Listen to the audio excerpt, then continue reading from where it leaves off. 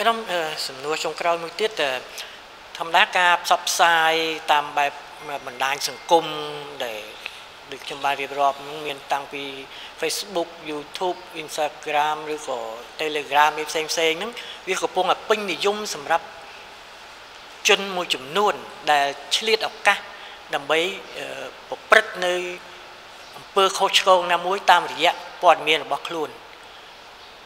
ចំពោះបញ្ហាហ្នឹង តើអាយដាមមានគំនិតយ៉ាងណាដើម្បីយើងទប់ស្កាត់អាក្រុមជនទុច្ចរិតអស់ហ្នឹងតើយើងត្រូវប្រើជាផ្លូវច្បាប់ឬក៏ត្រូវប្រើតាមបែបបច្ចេកវិទ្យាទំនើបដើម្បីទប់ស្កាត់វាឬយ៉ាងណាដែរដើម្បីព្រោះខ្ញុំឃើញថាបច្ចុប្បន្នហ្នឹងផ្សព្វផ្សាយហ្នឹងគឺពេលខ្លះនិយាយនិយាយគឺថាតាមតែខ្លួនចង់និយាយតម្រងណាដល់អញ្ចឹងវាផ្សព្វផ្សាយទូទាំងប្រទេសទូទាំងពិភពលោកដឹងឮ ដែលជួនកាលរហូតដល់ហ៊ានបកាច់បខូចថ្នាក់ដឹកនាំជាន់ខ្ពស់អីអីជាដើមហើយដល់បាទសូមអរគុណនេះជាប្រធានបទធំហើយសំខាន់ណាហើយនៅក្នុងសាររបស់សម្ដេចជួនរដ្ឋមន្ត្រីនៅថ្ងៃទី14មករា2022នេះសម្ដេចក៏លើកឡើងដែរពីរឿងការផ្សព្វផ្សាយមួយដែលវាគ្រោះថ្នាក់ឬសកម្មភាពណាមួយដែលស្ថិតក្រោមឆាត់នៃសារព័ត៌មានតែធ្វើរឿងមិនគប្បី រឿងនេះធំវាយើងទប់ដៃមួយអត់ជាប់ទឹកបាក់ទំនប់ប៉ុន្តែវាមានទស្សនវិជ្ជាមួយ ក្នុងវប្បធម៌មួយក្នុងប្រពៃណីមួយវាមានការវិនិច្ឆ័យខុសគ្នាដែរនៅសង្គមជឿនលឿនវាអានឹងអត់បញ្ហាក្នុងសង្គមជឿនលឿនដែលវាមានប្រព័ន្ធសង្គមរឹងមាំហើយទស្សនៈមតិការបញ្ចេញមតិទាំងអស់នឹងមិនជាបញ្ហាទាំងអស់ទេ តែក៏បញ្ហាចេញតិខ្លះគេប្រយ័ត្នដែរដោយរឿងបាតកម្មទៅវាយកាពីតូលមានកាពីតូលដែលអាមេរិកសម័យ Trump អាហ្នឹងវារឿងហើយគេអ្នកធ្វើបាតកម្មហ្នឹងគេយកទៅកាត់ទោសតាមសាវជ្រាវគ្រូព្រៀនប្រហែលដកអស់700នាក់គ្រាន់តែរឿងបាតកម្មនៅកាពីតូលប៉ុន្តែយើងត្រឡប់មកវិញថាការបញ្ចេញមតិខ្លះទទួលយកបានប៉ុន្តែក្នុងសង្គមមួយដែលយើងកំពុងត្រូវការសាមគ្គីភាពធំ ហើយបើគ្រួសារមួយលេងជំទាលមុខផ្ទះជេរគ្នាម៉ែកូនបងប្អូនពេញក្នុងហ្នឹងសួរថាសុភមង្គលនៃសង្គមជាតិហ្នឹងមិនមកខាងអាចនិយាយថាអានឹងសិទ្ធចេញមតិតែមកខាងទៀតវាជាសិលធម៌សង្គមហើយសង្គមខ្លះទទួលយកបានទៀតសង្គមខ្លះអាចនិយាយមកពុកម្ដាយធម្មតាដោយមិត្តភ័ក្តិដោយបងប្អូនសង្គមយើងធ្វើអត់បានទេយើងមិនអាចទៅនិយាយស្មើជាមួយព្រះសង្ឃ យើងអាចមិនអាចនិយាយស្មើជាមួយនឹងព្រឹទ្ធាចារ្យគ្រូបរិញ្ញាហើយដល់យើងយកអាសេរីភាពរបស់គេនេះយកមកប្រមាថប្រជាជនឯងឬថ្នាក់ដឹកនាំឯងអានឹងអត់ត្រូវរឿងនេះវាទស្សនភាពវប្បធម៌មួយយកមកឲ្យវប្បធម៌មួយទៀតអនុវត្តហើយបរទេសមានលទ្ធភាពធ្វើរឿងនឹងច្រើននៅក្នុងដំណាក់កាលទាំងអស់ខ្ញុំអាចសុំធ្វើការបែងចែកអ្វីដែលសំណួរនេះលើកឡើងទី1យើងប្រយ័ត្នការ មួយដែលយើងធ្លាក់ចូលនៅក្នុង សង្គ្រាមគេហៅសមរភូមិសាធារណតិក្នុងចរិតបង្កប់នៃភូមិសាស្ត្រនយោបាយអានោះរឿងធំជាងគេត្រូវប្រយ័ត្នបរទេសមានលទ្ធភាពនៅក្នុងការបង្កើតព័ត៌មានចរចាមារាមព័ត៌មានមូលបកាច់ហើយប្រើប្រាស់សារព័ត៌មានជាភ្នាក់ងារនៅក្នុងការផ្សាយអានោះនិយាយត្រង់ថាគេបង្កើតព័ត៌មានរឿងចិននៅកំពង់សោមចិននៅកោះកុងកងទ័ពនឹងមាននៅហ្នឹង ហើយគេឲ្យអ្នកកសែតយើងទាំងអស់ហ្នឹងថាតាមគេថាតាមឲ្យសង្ស័យទៀតទៅមើលនៅភ្នែកទាំងអស់គ្នាអត់ឃើញក៏គិតសង្ស័យដែរអាហ្នឹងគេហៅសង្គ្រាមសាធារណតិបែបភូមិសាស្ត្រនយោបាយគេចង់វាយចិនប៉ុន្តែគេមិនទៅវាយចិនផ្ទាល់គេមកវាយនៅផ្ទះយើងគេមកឌៀមដាមហើយហ្នឹងគ្រោះថ្នាក់វាធ្វើឲ្យ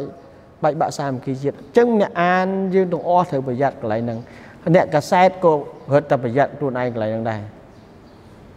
ត្រូវមានតលយៈភាពដូចដែលយើងនិយាយពីខាងដើមនេះក្រមក្រមជីវៈយើងឲ្យមានតលយៈភាពកន្លែងហ្នឹងមកចំពោះខាងក្នុងវិញសេរីភាពនៃការបញ្ចេញមតិនេះវាជះមកគ្រប់ទិសបើថាអ្នកខ្មែរនៅស្រុកបារាំងក៏ដោយអូស្ត្រាលីក៏ដោយអាមេរិកកាណាដាដែរអាចមានមតិមកប្រទេសខ្លួនឯងបានវាធម្មតាទេអ្នកវិនិច្ឆ័យពីរឿងអ្នកឡើងថ្នោតដែលឡើងដល់ពាក់កណ្ដាលកកឲ្យខ្លួនឯងនឹងអង្គុយដីអង្គុយមើលអ្នកឡើងថ្នោត ឬខ្លួនឯងអង្គុយមើលគេវាយបុកឲ្យសែកថាឯងវាយខាងនេះវាយខាងនោះវាស្រួលតែអានោះតែអ្នកធ្វើមានស្រួលដូចអ្នកថាណាអានេះវាបង្កើតទស្សនៈមួយមិនយល់គ្នាដែរអ្នកអ្នកធ្វើធ្វើខំមិនជប់ចេញណាតែអ្នកថាគិតថាចេះថាចុះឲ្យរឿងខ្លះថាជ្រុលទៅជាការប្រមាថហើយអានឹងយើងយើងរឿងខ្លះវាចេះទេវាវាត្រូវការយើងចេះក្រែងក្នុងភាសាខ្មែរយើងគឺចេះក្រែង សេរីភាពយើងប្រើអីក៏បានដែរដែលអាចជួយស្រុកទេសយើងរីកចម្រើន ជួយដល់ការដឹងចេះដឹងរបស់ប្រជាជនអានប្រជាជនចេះដឹងពីចឹងការបញ្ចេញមតិវាល្អអញ្ចឹងនៅពេលដែលយើងបញ្ចេញមតិបែបរដ្ឋាភិបាលថាហ្នឹងធ្វើអញ្ចេះធ្វើអញ្ចេះអញ្ចេះហើយស្វែងយល់ពីទុកលំបាកគ្នាតែបើយើងធ្វើអ្នកត្រួតហើយធ្វើជាគ្រូអាហ្នឹងមិនស្រួលនៅក្បែរអ្នកអ្នកអ្នកវាយបុកគេតាក់អាអ្នកឲ្យឲ្យឲ្យយោបល់ហ្នឹងវិញអានេះជោគគ្នាហត់ចឹងមកហើយយើងមកអឺ ចឹងវាអាទិដ្ឋភាពនេះវាចម្រុះឲ្យខ្ញុំគិតថារឿងធំត្រឡប់មកអ្នកសារព័ត៌មានយើងប្រយ័ត្នរឿងហ្នឹងប្រយ័ត្នប្រយ័ត្នសាធារណតិមួយដែលជាអន្ទាក់នៃភូមិសាស្ត្រនយោបាយប្រយ័ត្នសាធារណតិមួយដែលផ្សាយទៅធ្វើឲ្យការបែកបាក់ជាតិខ្ញុំក៏មានការសោកស្ដាយដែរដែលសេរីភាពសារព័ត៌មានយើងមានប៉ុន្តែយើងប្រើប្រាស់សារព័ត៌មានជាវេទិកានយោបាយច្រើនពេក វាធ្វើឲ្យប្រទេសនឹងវាជាប់ផុងទៅលើតែរឿងនយោបាយស្មាតទោះខ្ញុំក៏អ្នកនយោបាយដែរប៉ុន្តែនយោបាយច្រើនពេកយើងគិតមើលអ្នកនៅលើមួយអ្នកនយោបាយនិយាយត្រង់មកខ្ញុំមិនទៅនេះអីទេយើងនាំប្រទេសទៅមូលខ្វល់នយោបាយរឿងខាងលើយើងភ្លេចរឿងជីវភាពការងារនេះកសកម្មជំនាញយុវជនរៀនសូត្រនេះអានធំហើយយើងតាំងខ្លួនកាន់អ្នកកសែតក្បាលមេក្រូឬអ្នកវោហាមួយ នាំអាចប្រជាជននិយាយតែរឿងនយោបាយទាំងអស់ហើយគាត់ត្រូវការនេះចាំជ្រូកហ៊ានមកប្រាប់គាត់ឲ្យចាំជ្រូកធ្វើម៉េចណាចាំគួរនៅមានដីមួយហិកតាធ្វើម៉េចដីមួយហិកតាហ្នឹងរយបានមួយខែ1000ដុល្លារទេខ្ញុំមិនមិនមិនហាមគាត់សេរីភាពនយោបាយប៉ុន្តែនយោបាយស្រុកយើងហ្នឹងវាវាដូចចេះពេកហើយអាហ្នឹងចេះបំផ្លាញស្រុកទេសទេវានេះឲ្យខ្ញុំឃើញរឿងខ្លះហ្នឹង យុវជនយើងទៅអាយុ22 23 24 25ខ្ញុំពេលហ្នឹងខ្ញុំអត់ទាន់សូវនេះខ្ញុំមិនមែនថាមិននេះទេប៉ុន្តែយើងទៅប្រមាថជួនកាលថ្នាក់ដឹកនាំជាតិមួយដែលយកជីវិតទៅតស៊ូរំដោះប្រទេសជាតិធ្វើឲ្យរីកចម្រើនយើងត្រូវយល់ថាយើងនៅក្នុងវប្បធម៌មួយក្នុងសង្គមមួយហើយយើងយកអាពាក្យបរទេសមកប្រមាថម៉ែឪឯងអានឹងខុសជាប្រពៃណីសិលធម៌សង្គមយើងមិនមិនអញ្ចឹងហើយ លំហនឹង YouTube នឹង page នឹង TikTok ទៀតឥឡូវវាឲ្យឱកាសយើងនិយាយក៏បានដែរហើយធ្វើដូចអ្នកចេះអ្នកដឹងហ្នឹងប៉ុន្តែទៅទៅទៅសួរនៅនៅផ្ទះហ្នឹងមានដាំដាំដាំចក្រីអត់ហ្នឹងមានដាំជីទៀតបានធ្វើការនឹងឪពុកម្ដាយខ្ញុំមិនបន្តិចប្រអាក់ទេប៉ុន្តែរឿងខ្លះវាមានភាពចាំបាច់វាមានភាពត្រង់ខ្លាយហើយវាមានភាពក្រៃនៅក្នុងសកម្មភាពរបស់យើងហើយអាណិតស្រុកទេសទៅ ខ្ញុំមិនមិនថាខ្ញុំស្នេហាជាតិអីច្រើនជាងគេឬក៏អ្នកណាច្រើនជាងគេទេប៉ុន្តែវាមានបញ្ហាមួយរឿងនយោបាយរឿងខ្លះទុកឲ្យអ្នកនយោបាយលេងល្អជាងចំពោះខ្ញុំទេហើយគាត់លេងនេះឯងកុំកុំកុំធ្វើអភិជាកិច្ចជិលលោកដៃលោកជើងខ្លះហេរឿងខ្លះវាអវិជ្ជមានសង្គមអាហ្នឹងនិយាយទៅខ្ញុំខ្ញុំមិនហាមគាត់អីទេនិយាយការពិតឲ្យដើម្បីឲ្យរាជរដ្ឋាភិបាលសវត្ថកិច្ចមានជំនាញហ្នឹងគាត់ទៅដោះហ្មង ទេកុំដៀបដាមគេអាចោប្លន់ហ្នឹងមកដៀមបលិញធ្វើមិនវាមានចោស្រុកណាមានចោប៉ុន្តែមិនទៅជេរចោជេរបលិញអាហ្នឹងខុសហើយនៅប្រព័ន្ធ YouTube ប្រព័ន្ធ Facebook ខ្ញុំលើកឧទាហរណ៍មួយថាដូចអឺនាងសេងធារីហ្នឹងទៅ live អីអីអញ្ចឹងធ្វើហើយដល់ចង់បន្ទោសបង្អាប់តឡាការឬស្អីហ្នឹងគាត់ធ្វើទៅជា ស្លៀកពាក់ខោអាវអប្សរាហើយកោក្បាលទាំងងោលគាត់ live ឲ្យគេឃើញអីទូទាំងពិភពលោកអញ្ចឹងអីដល់ណាបញ្ហាហ្នឹងយើងគិតមិនខ្មិចខ្ញុំថាបើគាត់អត់ទាន់យល់វប្បធម៌ខ្លួនយើង ខ្មែរយើងវាអត់ដែលមានអប្សរាក្បាលទាំងងោលទេយើងមិនទាំងស្គាល់វប្បធម៌យើងយើងមិនទាំងស្គាល់ខ្លួនយើងយើងទៅដឹកនាំមិនយើងទៅដឹកនាំមកខ្ញុំមិនមានយោបល់អីជ្រាលជ្រៅទេជាសេរីភាពរបស់បុគ្គលប៉ុន្តែវាឆ្លុះបញ្ចាំងថាបើយើងមិនស្គាល់វប្បធម៌ ទីមួយវត្តសាស្ត្រជាតិយើងនេះដំណើរនៃជាតិយើងនេះដែលយើងមាន2000ឆ្នាំនៃប្រទេសជាតិលើភពផែនដីនេះតើយើងមានពេលប្រមាណរយៈពេលណាដែលយើងសុខបានសុខយើងច្បាំងគ្នាយើងឆ្លោះគ្នាយើងហែកហួរច្រើនជាងពេលដែលយើងធ្វើការយើងធ្លាប់និយាយលេងថា10ឆ្នាំមានប្រហែលដងក្នុងជីវិត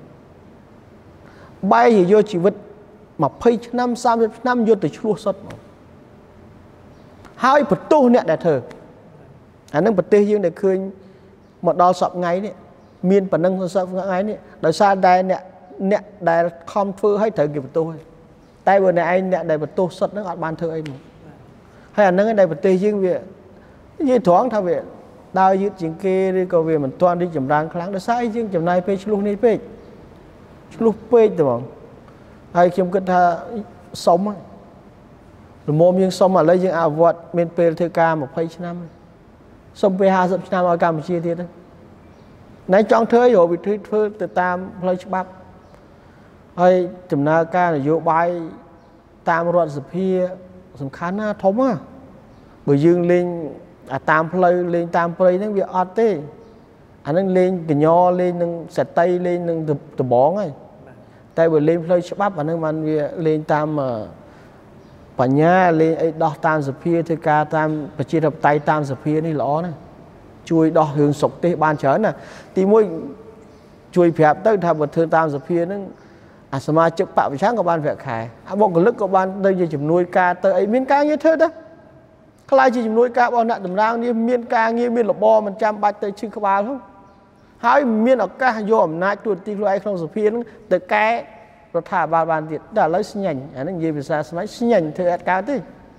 ខ្លួនឯងអាចជាប់ឆ្នោតផងអត់ក្នុងសភាផងហើយអឺ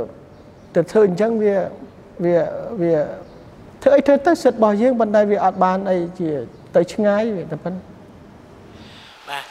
អរគុណឯកឧត្តមហ៊ុយវណ្ណៈដែលបានចំណាយពេលវេលាផ្ដល់បទសម្ភាសន៍ឲ្យទូទូអាស៊ីគ្នាថ្ងៃនេះបាទអរគុណឡងទៀតឯកឧត្តមបាទ